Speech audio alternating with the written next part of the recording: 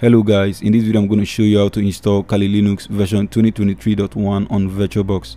For those that don't know VirtualBox, VirtualBox is a tool that allows you to run multiple operating systems on your host computer. So you can see I'm currently running Windows 11, Manjaro and Arch Linux on VirtualBox and I can run multiple operating systems here. So in this video we're going to be installing Kali Linux version 2023.1 on our VirtualBox. Now this is the latest version of Kali Linux at the moment which was released on the 13th of March marking their 10th anniversary. Now the first thing we have to do is download and install VirtualBox and to do that head to your Chrome browser and then search for VirtualBox. Now you can see the first page over here Oracle VM VirtualBox click on it and then by the left click on downloads now you can see for windows host mac os linux distribution and many other os over here. So we are downloading for a windows machine. So i'm going to click on windows host. And it should start downloading. I already have this downloaded so i'm just going to cancel it but you should download it. Now after downloading virtualbox you also have to download virtualbox extension pack. So if you look down over here you're going to see virtualbox oracle vm extension pack so click on all supported platforms over here and you should download the VirtualBox extension pack. Now after downloading VirtualBox and VirtualBox extension pack, we have to download Kali Linux version 2023.1 installation file. So open a new tab. You can just head directly to kali.org or you can just search for Kali Linux on Google Now you can see the first page over here, Kali Linux pen testing and ethical hacking Linux, kali.org. So just click on the first page over here and it will take you directly to kali.org. Now click on the download button on the screen over here and it will take you down here where you can see the installer image and virtual machines. Now there are two ways we can use to install Kali Linux. The first method is to go with virtual machines option over here which allows you to run Kali Linux directly so all you do is download the file, extract, and then run directly from your VirtualBox without doing anything else. So if you want to test Kali Linux or you just want it up and running immediately, then you should go with the first method. Now the second method is using the installer image, which means you have to install everything from scratch yourself, set the disk size and every other thing you want. So I would recommend this if you want to customize your machine and do everything yourself. Now I'm going to show both methods in this video so you can choose which is preferable for you. So first let's start with virtual machines. So once you click on virtual machines, it will take you down here. Now you can see Kali Linux for VirtualBox, for VMware and for QEMU. Now we are downloading Kali Linux for VirtualBox and you can see the 64-bit version and the 32-bit version as well. So you have to check your PC to see if it has a 32-bit processor or 64-bit. And to do that, head to your search bar and then search for about PC. Once you click on it, you should be able to see details on your system. You can see over here under system type 64-bit operating system x64 base processor. So we're going to download the 64-bit version of Kali Linux for VirtualBox. So click on 64 over here for VirtualBox and it should start downloading. The size is about 2.7 gigabytes. Now I already have this file downloaded so I'm just going to cancel it. Now after downloading the pre-built VirtualBox image for Kali Linux we can close our browser and then open our download folder now you can see this is virtualbox this is oracle vm virtualbox extension pack and this is the kali linux file we downloaded. So first you have to install virtualbox and to do that just double click on it. And then install just like every other software. So i already have this installed so i'm just going to click on repair but you just have to install just continue with the prompt and you should be able to install virtualbox now after installing VirtualBox, the next thing we have to do is add the extension pack. And to do that, open VirtualBox after the installation. And then you can see this tab up here, click on it. And then click on extensions. Now click on install. And then select the extension pack which is in your download folder, click on open. And then click on install and it should install the extension pack. Just scroll down and then click on I agree to the terms and it should install successfully. So the extension pack has been installed. Now we can click on the tab again and then go back to the welcome page. So after installing virtualbox and then adding the extension pack we can begin extracting kali linux and then adding it to our virtualbox. Now you can extract this file using winrar or any other file extractor so whichever is good for you. So i'm just going to right click winrar extract files and then click on ok and it should extract this file in no time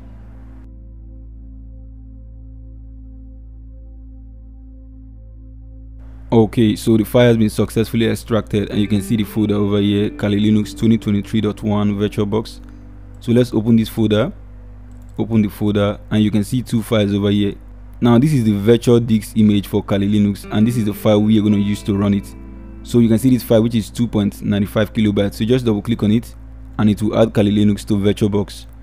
Now you can see Kali Linux has been added to VirtualBox. Before you power on your machine, we have to change few things. So just click on settings and then go to system, increase the base memory which is the RAM. I have 16 gigabytes of RAM on my PC so I'm going to give Kali Linux 4 gigabytes of RAM. Now you shouldn't allocate more than 40% of your PC RAM to your virtual machine else it will slow down your host computer same thing with the processor i'm going to give it three cores since i can run up to eight and then go to the display section over here and then make sure 3d acceleration is enabled over here now click on ok you can then click on start and this should boot our kali linux instantly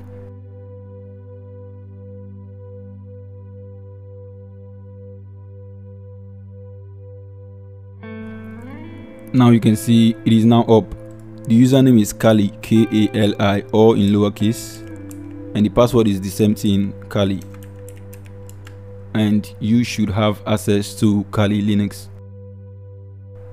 So you can see Kali Linux has been installed on our machine and everything looks really good. Now if you want to view this in full screen, you can click on view up here and then go to full screen mode, click on switch and you should be able to use Kali Linux in full screen.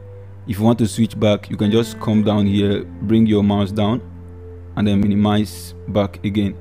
So basically this is how to install Kali Linux using the pre-built virtual image now you can do whatever you want to do change your processor change the RAM and modify Kali Linux as you want. Now the second method we are going to use for the installation is through the installer method. So if you use this method you're good. You can use Kali Linux for whatever you want. So let's head back to our browser. And then this time we are going to download the installer image. So let's click on installer image over here.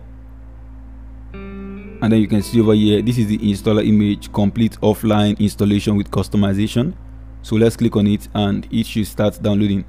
This file is a little bit bigger than the pre-built image. This is about 3.6 gigabytes. I already have this downloaded so i'm just going to cancel it. So after downloading we can close our browser and then open our download folder. Okay so we now have Kali Linux image over here installer image. This is virtualbox and this is extension pack which we've already installed already so we don't need any of this so head to your virtualbox now we have to create a new virtual machine so click on new. Let's call this Kali Linux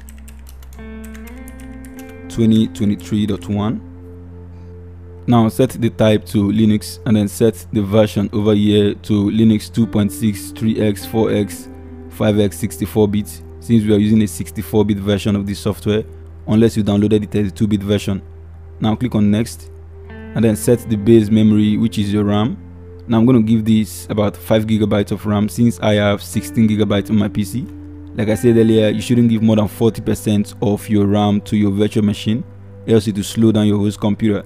Same thing with the processor so i'm going to give it three cores. Now click on next. Create a virtual hard disk now. Now this is where you allocate how much storage you want to give to your machine. In this case from 50 gig is actually okay but i'm going to give it about 90 gigabytes and that should be okay.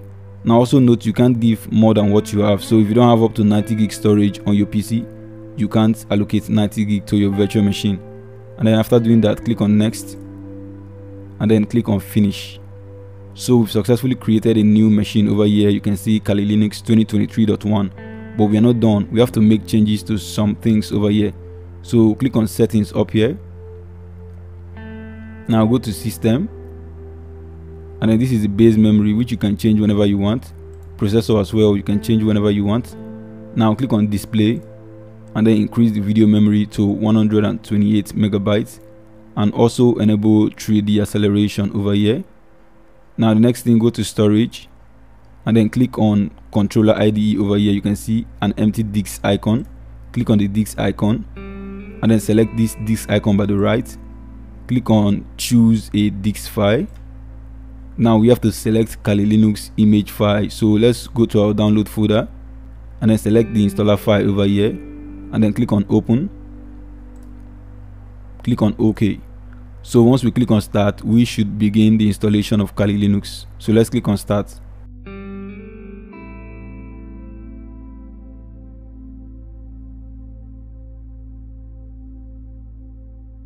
Now we are going with the graphical install. So just hit enter and it should start select the language and continue. Select your location and continue. Select your keyboard format and continue. It should start retrieving the installer components from our installation media. Now this will identify your system to the network so you can put your name right here. So i'm just going to put everything tech. Continue domain name leave the field empty continue unless you have a domain name you want to put there. Full name for this user enter your full name there. Username for this user enter your username there and then choose the password confirm the password and then continue now choose your clock format and continue as well. Now we are going with guided which will use the entire disk we allocated and then partition it itself. So let's continue. And this is the disk 97 gigabytes. So that is actually the disk we created. So let's continue. All files in one partition which is recommended yes. So continue. Now click on continue to finish partitioning and write changes to the disk. Write changes to the disk, select yes and then continue.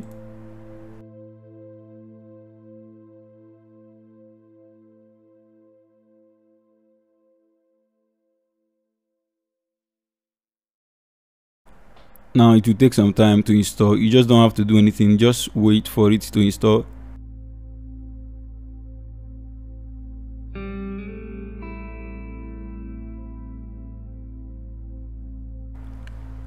Now this is where we select the desktop environment we want you can use GNOME, KDE or Xfce. Now I'm going to use Xfce since this is the default desktop environment and this looks actually good unless you want to choose any other desktop environment but we are good with Xfce over here.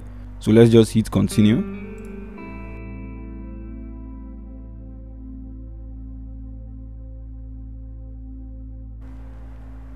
Now select yes to install Grub bootloader and then hit continue. Select the drive over here. This is where we are installing Grub bootloader and then hit continue. And that is all actually. This shouldn't take up to a minute. Now the installation has been completed so hit continue to reboot.